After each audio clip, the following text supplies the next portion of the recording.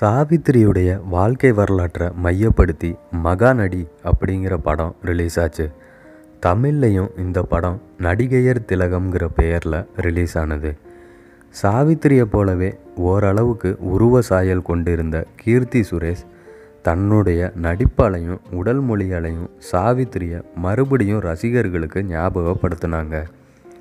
அந்த படத்துக்காக கீர்த்தி சுரேஷுக்கு சிறந்த நடிகைக்கான தேசிய விருதும் கிடைச்சிது. இந்த நிலையில் கடந்த வருஷம் மறைந்த பழம்பெரும் நடிகை விஜய நிர்மலாவுடைய சுயசரிதையையும் திரைப்படமாக மாறப்போகுதுன்னு அதுலேயும் கீர்த்தி சுரேஷ் நடிக்க இருக்காங்கன்னு சொல்லப்படுது. இரநூத்தம்பது படங்கள் நடித்த ஒரு நடிகையாக மட்டுமல்லாமல் உலகில் நாற்பத்தி ரெண்டு படங்களை இயக்கிய ஒரே பெண் இயக்குனர் என்கிற கின்னஸ் சாதனைக்கும் சொந்தக்காரர் விஜய நிர்மலா. தெலுங்கு நடிகர் கிருஷ்ணாவின் மனைவியும் கூட சாவித்திரியின் உருவத்தோடு ஒத்துப்போன அளவுக்கு விஜய நிர்மலாவின் சாயல் கீர்த்தி சுரேஷுக்கு பொருந்தி வருமா அப்படிங்கிறது சந்தேகம்தான். இருந்தாலும் இது குறித்து தற்போது கீர்த்தி சுரேஷுடன் பேச்சுவார்த்தை நடத்தப்பட்டு வருதாம்.